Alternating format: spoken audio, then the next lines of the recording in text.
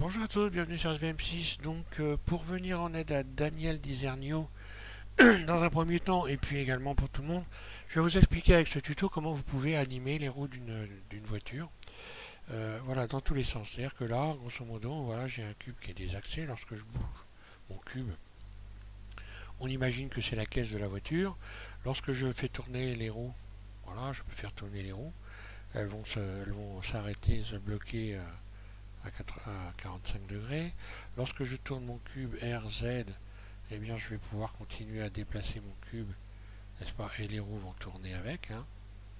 RZ, donc dans tous les sens, les roues RZ vont tourner dans le bon sens. Donc voilà comment je vais vous expliquer comment je fais ça. On va partir sur une fenêtre neutre. Et donc pour ceux qui ont suivi euh, ma playlist euh, exercice pour la vélocité, vous avez dans cette playlist donc la possibilité de euh, télécharger soit une voiture, de, soit de, la, construire une voiture flash, hein, euh, une, voiture donc en quelques minutes, en 8 minutes. Hein, je fais donc une démo pour modéliser une voiture et vous pouvez éventuellement télécharger une voiture, enfin voilà. Et donc vous allez pouvoir, pour ceux qui ont modélisé leur voiture, bah, vous allez pouvoir rajouter des roues et euh, donc euh, faire en sorte que les roues tournent correctement. Je vais vous expliquer ça. Voilà. Voilà, donc je repars sur j'ai réouvert Blender, hein, une nouvelle fenêtre, et je vais repartir euh, pour vous faire la démonstration. Donc, non pas sur la voiture, parce que c'est voilà, par souci de simplicité, je vais faire en sorte d'utiliser simplement un cube et quatre cylindres. Donc je rajoute déjà pour commencer un cylindre, voilà. Je rajoute un cylindre. Ce cylindre R euh, X90, voilà, je vais le mettre en vue 1. Je me mets en vue dessus, 7 de mon pavé numérique éventuellement. Et je vais modifier sa surface en faisant S, Y. Je réduis, voilà, on va dire que ça c'est une roue, première roue. Je reviens en mode objet. Et je la duplique, Shift D. Et je la déplace, un clic roulette, je vais la poser, se positionner là par exemple. Puis Shift D. Un clic roulette, je la déplace là. G. Là, je vais la mettre là. Puis Shift D. Celle-là, je la mets là. là. Donc à chaque fois, pour rappeler les axes, j'ai fait un clic roulette. Hein. J'ai expliqué dans les tutos euh, que j'ai fait sur la vélocité et la rapidité d'exécution tout, tout ce que vous allez voir là, pour ceux qui, euh, qui se posent la question, comment je fais pour aller vite? Donc, euh, qui ont du mal à comprendre, il faut aller travailler cette playlist pour, euh, bien saisir comment, comment faire pour modéliser, je veux dire, avec une certaine rapidité, une, souplesse. Hein, voilà. Donc, je vais assez vite, mais pas trop. Alors, je vais rajouter également un cube. Euh, voilà, j'ajoute un cube. Ce cube euh, G, je vais le positionner là. Je vais modifier sa surface. On va dire euh, S. ou alors je vais attraper cette face-là et cette face-là. Tiens, on va utiliser les outils. Utiliser les outils. voilà, extruder normal. Et voilà, j'agrandis ça comme ça, par exemple. Vue 1.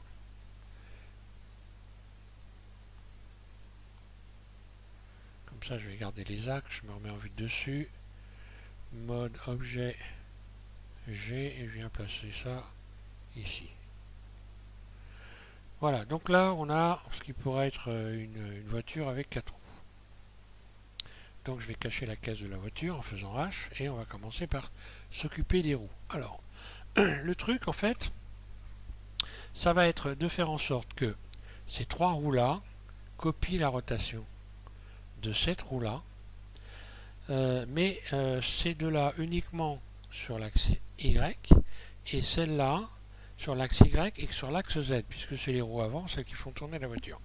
Donc ça c'est la première des choses. Ensuite on va faire en sorte que chaque roue soit parente de la caisse, donc du, du cube, pour que ça puisse coller au cube. Et après on va utiliser euh, des, des comment, des contraintes ici. Je vais vous expliquer ça. Alors, Première des choses, cette roue-là, on peut considérer, on va considérer que c'est un peu la télécommande des autres roues. Donc, pour que ça soit la télécommande des autres roues, je sélectionne cette roue-là. Donc là, on voit le nom des roues. Hein. Cylindre, c'est ce premier. Ensuite, cylindre 1, cylindre 2 euh, et cylindre 3. Hein. Donc, je sélectionne le cylindre 1 ici, je, pourrais sélectionner ici aussi. Hein. Ok, je peux faire les sélections là. Donc, un clic droit sur le cylindre et je vais lui attribuer une contrainte déjà pour commencer de rotation. Je vais lui demander de copier la rotation de la cible du, de, cylindre. Donc le cylindre c'est celui-là, hein, cylindre de copier la rotation de cylindre sur l'axe, non pas X parce que autrement ça tournerait comme ça, euh, mais sur l'axe Y, comme pour que ça tourne comme ceci, et sur l'axe Z. Là. Une fois que j'ai fait ça, si je sélectionne le cylindre, le premier, et que je fais RZ, on voit que ça copie parfaitement. Si je fais RY, les deux roues vont tourner. Et je vais faire pareil pour les autres roues, sauf que sur les autres roues, ça ne pourra pas tourner sur l'axe Z. Donc je sélectionne cette roue-là, je lui rajoute une contrainte de rotation, copier la rotation, de cylindre, là, et uniquement sur l'axe Y. Lorsque j'attrape cette roue-là, que je fais RY, elle tourne.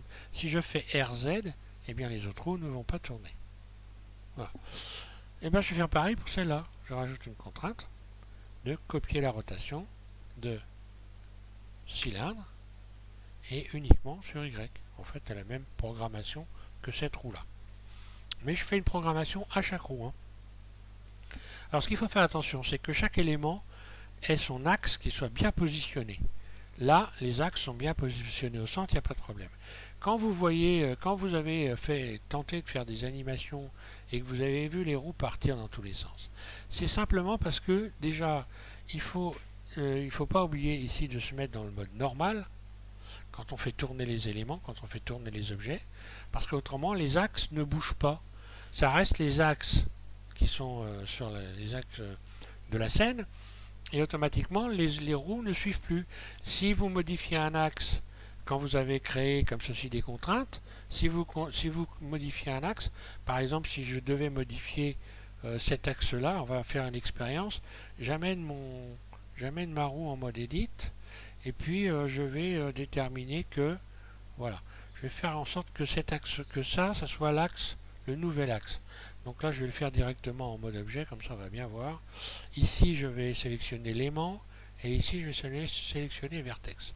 Et là, je vais aller chercher donc un, je vais aller chercher un, voilà. Et, je vais déterminer que ici, c'est le, c'est le nouvel axe de la roue. Donc là, je vais dans objet, définir origine, vers curseur 3D. Maintenant RZ. Voilà ce qui se passe. J'ai des accès. Si je fais R, Y, ben voilà ce qui se passe. Donc je vais revenir en arrière. Donc il faut faire attention à ce que les axes R, Y, R, Z, voilà.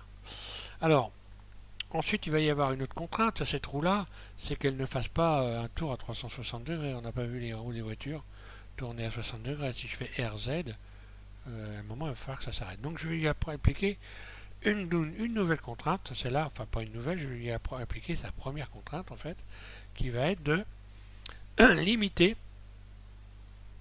la rotation. Je vais limiter sa rotation sur l'axe Z. Donc, je coche ici Z. Ici, je vais mettre moins 45 degrés. Et ici, je vais mettre maximum 45 degrés. Voilà. Un clic gauche. Et ici, je vais cliquer sur local. Ce qui fait que maintenant, lorsque j'attrape ici, RZ, euh, limiter la rotation.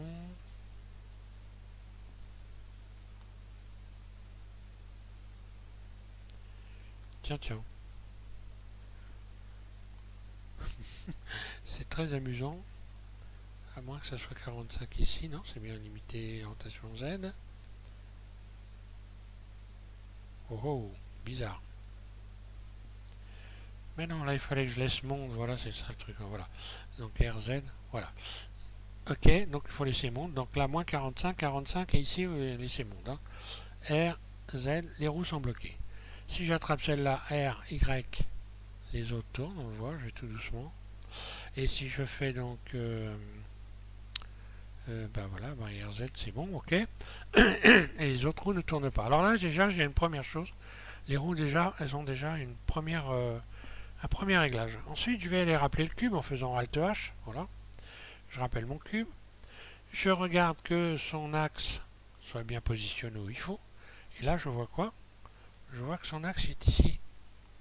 L'origine. Donc, il va falloir que je détermine son axe. Parce que si je fais tourner mon cube sur Z, RZ, on voit comment il tourne. Ça va pas le faire. Donc, je vais déterminer également, toujours penser aux axes, définir origine, vers géométrie. Voilà. Donc là, mon cube, il a un axe qui est correct, les roues ont un axe qui est bien au centre, etc. Donc il faut toujours penser axe, surtout. Faut pas, faut oublier l'objet. L'objet, c'est, en fait, c'est rien l'objet. L'objet, c'est tout ce qui compte, c'est les axes. En fait, les axes sont réglés les uns par rapport aux autres. Et c'est ça qu'il faut bien comprendre pour ne pas avoir après votre objet qui se disloque dans tous les sens. Voilà. Euh, alors, je vais donc déterminer que, parce que quand j'attrape le cube ici, les roues ne suivent pas. Je vais faire en sorte donc maintenant que les roues suivent. Et pour que les roues suivent quand je déplace le cube, je sélectionne une roue, puis j'appuie sur Shift en continu et je sélectionne le cube. Donc là on voit que la roue est en orange et le cube en jaune. Donc le dernier élément sélectionné, ça va être le parent du premier qui a été sélectionné. Donc je vais faire CTRL P et je vais créer un lien de parenté, une, liaison en quelque sorte et je clique sur Objet. Une fois que j'attrape le cube, la roue est bien positionnée, sur le cube. Et lorsque je la fais tourner, R, Y, elle tourne toujours. R, Z, elle tourne toujours. Ensuite, je vais faire pareil pour les autres roues. Celle-là, en premier. Ensuite, Shift en continu, un clic droit, CTRL P, Objet. Et ainsi de suite.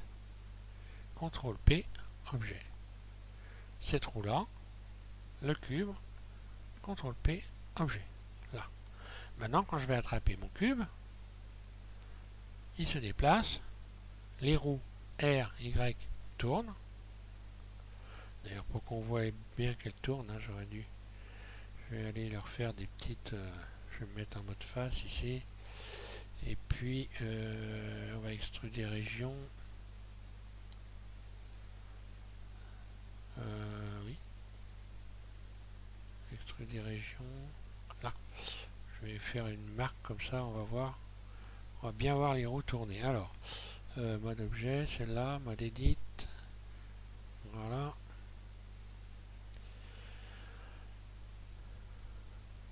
Ok.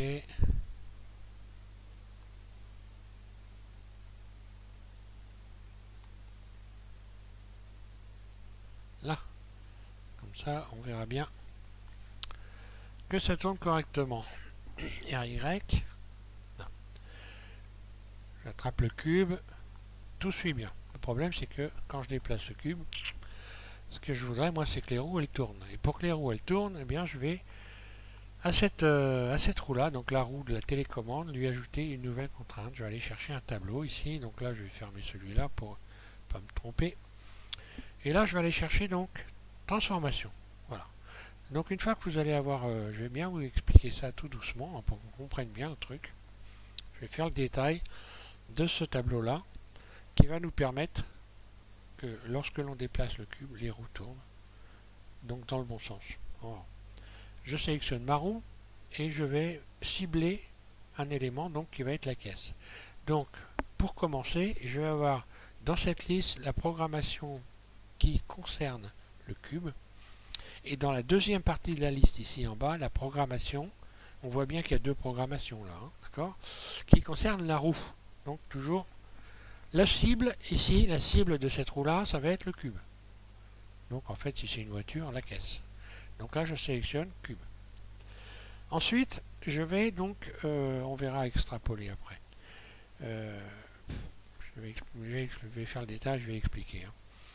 Donc si la position du cube se déplace sur l'axe X, ici, donc là on voit bien que la voiture elle est, elle, est dans le prolongement de l'axe X. Hein. Euh, donc si je vais ici déplacer mon cube de 1 mètre, de 1 mètre sur l'axe X, eh bien les roues, cette roue là donc qui entraîne les autres, va tourner ici, donc programmation de la roue, rotation, je clique sur rotation, là c'est position, position du cube par rapport à l'axe X, et ici rotation par rapport à la position du cube. Ici je vais donc déterminer que quand le cube aura fait 1 mètre, eh bien la rotation sur l'axe Y, donc la rotation des roues, l'axe Y, sera de 45 degrés. Là. Donc là, on pourrait se dire, par exemple, si je déplace mon cube, bah, les roues devraient tourner. Et elles ne tournent pas. Et on va voir pourquoi elles ne tournent pas. Il y a une raison bien particulière. C'est que ici, il faut déjà commencer par cliquer sur extrapoler, c'est-à-dire anticiper le dépassement de 1 mètre pour que les roues puissent tourner plus que 1 mètre. En fait, c'est comme si on, euh, répétait l'opération. 1 mètre, 2 mètres, 3 mètres, etc. Et euh, également, pour que l'axe X ici, la, roue puisse tourner sur l'axe Y, pardon, donc cet axe-là, il faut que cet axe-là puisse se déplacer le long de l'axe Y, de l'axe X, pardon. Vous imaginez cette ligne verte qui glisse sur cette ligne rouge. Voilà. Parce qu'autrement, ici, la roue ne peut pas, peut pas tourner. L'axe Y, lui, il, euh, est toujours euh, il est fixe. Donc ça ne peut pas tourner. Il faut que, il faut que je puisse faire que ça, euh, cet axe-là glisse sur l'axe X. Et pour faire ça, eh bien, on voit ici les lettres Y. Et je veux que Y se déplace, un clic gauche, je rentre sur cette liste, sur X, là. À partir de là, je vais, euh, cet axe-là va glisser sur celui-là. Si j'attrape le cube, eh bien, voilà ce qui se passe. Pas de problème, ça bouge. Le problème qu'il va y avoir après, c'est qu'il ne faut pas oublier une chose. Là, je vais retirer l'aimant déjà pour commencer, revenir sur l'incrémenté, voilà. Il y a une chose qu'il ne faut pas oublier, c'est que si vous vous mettez dans le, dans le, mode global ici, eh bien, les, les, les, comment, les, les normales, ne, vous ne pouvez pas vous servir des normales. Donc là, il va falloir que je me serve de l'axe du cube ici. Et pour faire ça, je vais me mettre dans le mode normal. Ce qui fait que si je tourne, je tourne ici mon cube R, Z, et puis qu'ensuite je déplace bah, on voit que les roues suivent. R, Z. Il n'y a qu'un truc où ça va pas le faire. Je reviens en arrière. Il n'y a qu'un truc où ça va pas le faire. Euh, c'est euh, quand je vais utiliser ici. Je reviens là. Ici, il faut que je, clique sur euh, local, espace local. Voilà, donc là on a vu euh, extrapoler, c'est bon. Ok, ok, 45 degrés, et là je vais mettre local. Voilà. Là maintenant, quand je vais dépasser euh, les 90 degrés, ou même les 180 degrés, les roues continueront à tourner dans le bon sens. Donc RZ.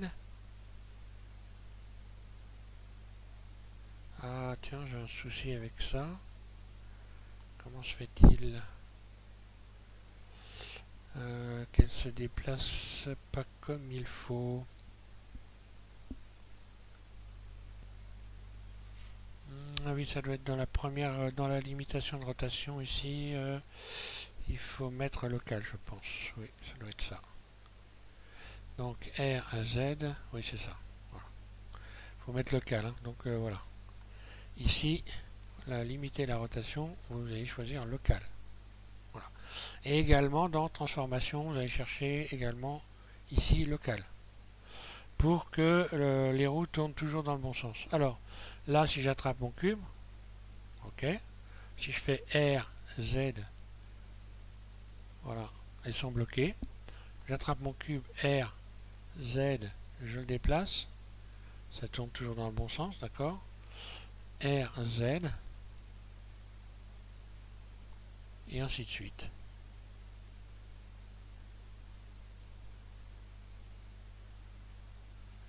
Alors, pourquoi Ici, je vais mettre espace local? Je vais resélectionner ma roue ici. Là, voilà. Si j'avais pas mis local ici, si je laisse dans monde, voilà ce qui va se passer. Les roues tournent à l'envers. Voilà. Passer un certain, une certain, certain degré de, de rotation, RZ. Si je reviens là, normalement, ça va tourner dans le bon sens. R, Z. Voilà, quand je vais dépasser les 180 degrés, bim, voilà ce qui se passe. Donc il ne faut pas choisir monde, mais il faut choisir ici espace local. Là.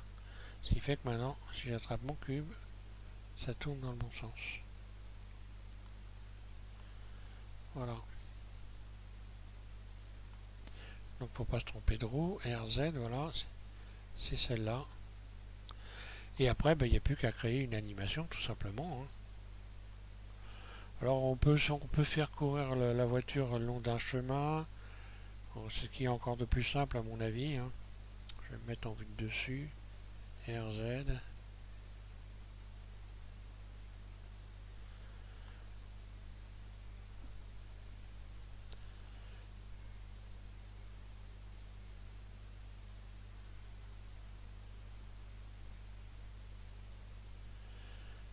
Vers le centre. Euh,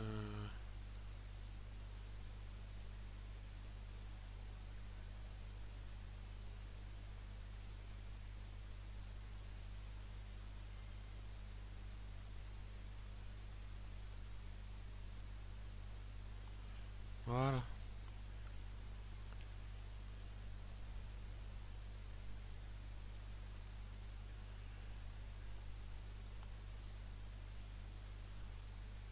Fonctionne toujours bien. Voilà, donc il faut évidemment que les, axes puissent se déplacer euh, dans les normales. Donc les trois quarts du temps, les erreurs qu'on commet, donc j'en ai fait quelques-unes, je vous rassure. Les erreurs qu'on commet, c'est d'oublier ici qu'il faut utiliser les normales. C'est euh, d'oublier que euh, les axes, si on les modifie, tout par un volo. C'est-à-dire, par exemple, ici, si je modifie l'axe maintenant du cube après avoir fait cette programmation. On va imaginer, je vais modifier l'axe directement en venant sur cette fenêtre là. Voilà, je vais attraper ici, hop, on va mettre curseur 3D et je vais, voilà, cliquer ici, j'amène l'axe ici et je vais aller déterminer le curseur 3D comme étant donc la nouvelle origine. Et voilà. J'ai modifié l'origine du cube et bing, voilà ce qu'il y a. Et ça, les trois quarts du temps, c'est la question qu'on se pose. Et d'ailleurs, euh, Daniel, c'est ce qui a dû t'arriver. Hein. tu n'as pas euh, programmé les choses comme il fallait. Et euh, alors tu as bougé des axes et puis tu te retrouves avec tout qui, qui part à volo. Donc voilà. voilà, grosso modo, c'est les erreurs qu'on commet pratiquement tout le temps. Hein. Voilà, je vais revenir ici. Et donc, euh, bah voilà, je vais m'arrêter là pour les explications. Bon, j'espère que voilà, que ça servira à tout le monde. Et que vous allez donc pouvoir maintenant animer vos voitures euh, en faisant donc euh, en faisant en programmant toutes les contraintes pour pouvoir arriver à faire une animation correcte. Voilà. Bah, après, c'est que c'est comme une animation normale, hein, sauf qu'il faut rester avec ici normal. Voilà. Merci à tous, bon courage, amusez-vous bien. Si vous avez des questions, n'hésitez pas. Et donc euh, voilà, Daniel Dizernio. Donc Daniel, je pense avoir répondu à ta, à ta question. J'ai mis un petit peu de temps, je suis désolé, mais j'ai pas mal de trucs à faire. Et euh, voilà pourquoi j'ai mis autant de temps à répondre. Hein. tu m'as posé la question la semaine dernière. Et, euh, mais voilà, j'y réponds quand même. Voilà, bon courage à tous.